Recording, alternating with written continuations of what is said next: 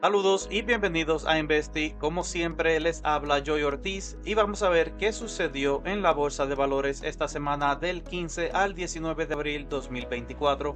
Antes de comenzar, no olvides las marcas de tiempo parecidas a estas en la descripción abajo.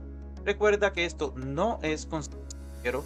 Los videos son con de educación y entretenimiento y puedes utilizarlo como el inicio de tu investigación más a fondo de empresas. La descripción abajo puedes encontrar enlaces de nuestros patrocinadores Robinhood para que inviertas en la bolsa de valores y Fundrise para que inviertas en bienes raíces digitales. Todos los lunes te brindamos el mejor plan dividendos de Investi para que tengas a la mano las empresas que te pagan ingresos por medio de dividendos y estamos disponibles totalmente gratis. Las plataformas de Instagram, Facebook, Pinterest y X o Twitter, al igual que por aquí nuestro canal de YouTube todas bajo el arroba Investi1985. Ayúdanos con el algoritmo de YouTube dándole me gusta, compartir y activar la campanita. Como de costumbre, queremos saber qué empresas tendrán volatilidad esta semana y comenzamos con Earnings Whispers, que nos trae la tabla de las empresas que reportan sus finanzas comenzando mañana lunes 22 de abril, por lo cual estas empresas pueden ver tanto subidas como caídas drásticas. Vemos a Verizon, AGNC, General Motors, Tesla, UPS, Visa, General Electric, Pepsi, Texas Instruments, Boeing, Meta, AT&T, IBM, Ford, Microsoft, Google Alphabet, Intel, Altria, Caterpillar, T-Mobile, ExxonMobil, Chevron, Avi y Autoliv, entre otras. Bitcoin tuvo otra semana negativa y como dijimos la semana pasada tiene los 60.000 como primer soporte y luego tendría una caída precipitosa hasta los 50.000. Su resistencia se encuentra en los 71.000 aproximadamente. Sus ETFs bajaron en promedio 3.59% por la semana, excepto BT porque como ya saben es un ETF contrario, si Bitcoin sube, BT baja y viceversa. Nvidia Corp, símbolo NVDA, hace dos semanas hicimos aviso del doble top que se estaba formando con un stop loss en el cuello aproximadamente en los 830 dólares. Los que siguieron el aviso deben estar fuera de la posición con ganancias sustanciales. Si no lo hiciste, estás devolviendo mucho dinero al mercado rápidamente. Su próximo soporte se encuentra en los 700 dólares y si no se aguanta puede caer hasta los 600 dólares. Paga un dividendo de 16 centavos por acción para un rendimiento de 0.02% y aunque cayó más de 13% esta semana, sigue con ganancias por el año de 53.87%. Amazon.com, símbolo AMZN, avisamos que en el gráfico mensual observamos que en el 2021 Amazon alcanzó el precio de 188 dólares dos veces antes de no poder sobrepasarlo y tener una caída bastante fuerte. Y una vez más, junto con la debilidad del mercado esta semana, Amazon no pudo sobrepasar esta área, dando así espacio a un gran retroceso.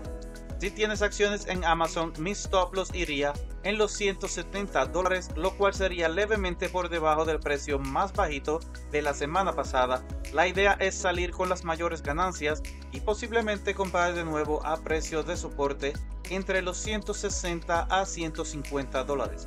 Amazon no paga dividendos y tiene ganancias de 14.93% por el año. Netflix Inc., símbolo NFLX, tuvo una caída de más de 9% el viernes a pesar de registrar buenos números por el trimestre de 2024.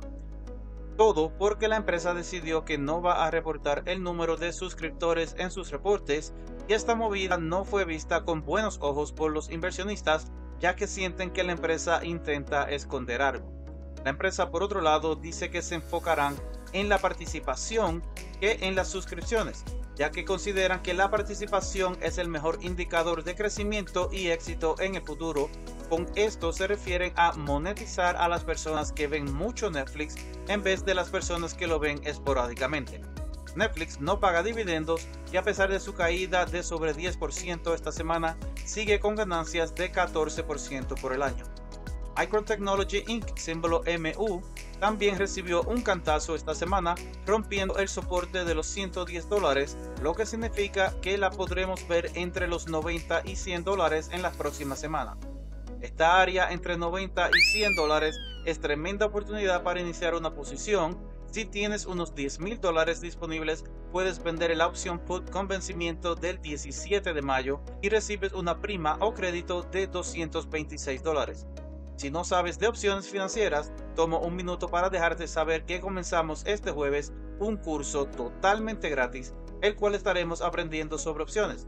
Puedes comenzar tan pronto termine este video, así que Netflix ofrece un dividendo de 46 centavos por acción para un rendimiento de 0.43% y tiene ganancias por el año de 25.11%. Victory Capital Holdings Inc. VCTR, el sector de banca y finanzas se mantuvo fuerte a pesar que el mercado en general comienza a derretirse. Eso lo vimos con Victory Capital, los cuales consiguieron sus máximos históricos y por el año. Desde que rompió la resistencia de los 35 dólares en febrero, ha estado imparable. Su gráfico mensual nos demuestra que no existen resistencias, pero ya que el mercado se debilita, en caso que retroceda puede encontrar soporte en los 40 dólares. Paga un dividendo de 1 dólar y 29 centavos por acción para un rendimiento de 2.73% y tiene ganancias por el año de 37.83%. De igual manera, Wells Fargo Company, símbolo WFC, tuvo una excelente semana, alcanzó máximos por el año sobre los 60 dólares. La diferencia es que en el gráfico mensual podemos observar que Wells Fargo tiene bastante resistencia entre 60 y 65 dólares. Su soporte se encuentra entre los 45 y 50 dólares, ofrece un dividendo de 1 dólar y 35 centavos por acción para un rendimiento de 2.24% y tiene ganancias de 22.61% por el año. El mal año de Apple Inc., símbolo AAPL, no parece estar cerca de terminar. La caída del viernes rompió su soporte en los 166 dólares y ahora tenemos que mirar el gráfico mensual para ver dónde podría ser su próximo soporte. De seguro tiene algo de soporte en los 160 dólares, pero su soporte más fuerte se encuentra entre los 135 y 140 dólares. Su resistencia se mantiene en los 200 dólares, ofrece un dividendo de 96 centavos por acción para un rendimiento de 0.58% y tiene pérdidas por el año de 14.30%. Tesla Inc., símbolo TSLA, nos sigue haciendo un roto en nuestra cuenta de demostraciones cayendo otros 14% esta semana. Si miramos el gráfico mensual, podemos ver que su próximo soporte no es hasta que baje a los 100 dólares. Las esperanzas se encuentran en que reportan sus finanzas esta semana y si logran sorprender con sus números, puede ser el punto de retorno hacia las ganancias. No paga dividendos y tiene pérdidas de 40.80% por el año. Solo nueve empresas alcanzaron nuevas alzas por el año, la mayoría del sector de banca y finanzas, entre ellas las ya mencionadas Victory Capital y West Fargo, también Progressive, Midcap Financial Investment, Kinder Morgan, Carlyle Secure Lending, Synergy Maritime Holdings, King Rose Gold y Charles Schwab. Al momento, estas son las empresas con el momentum del mercado que te pueden llevar a obtener ganancias sustanciales a finales de año, así que vale la pena echarles un ojito a la lista completa.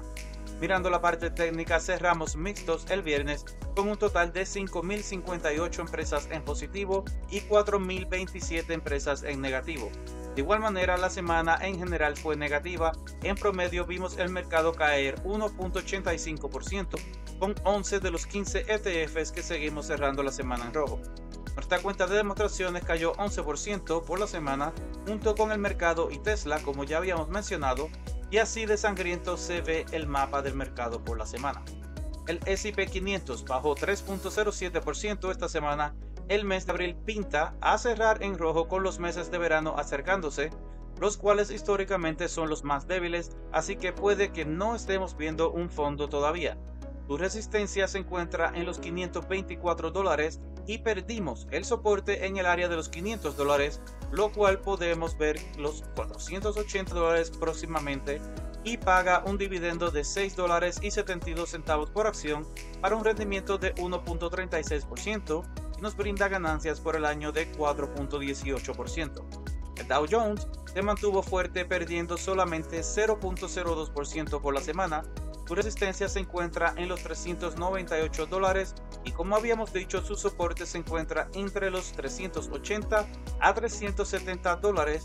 Paga un dividendo de 6 dólares y 87 centavos por acción para un rendimiento de 1.81% y tiene ganancias por el año de 0.78%.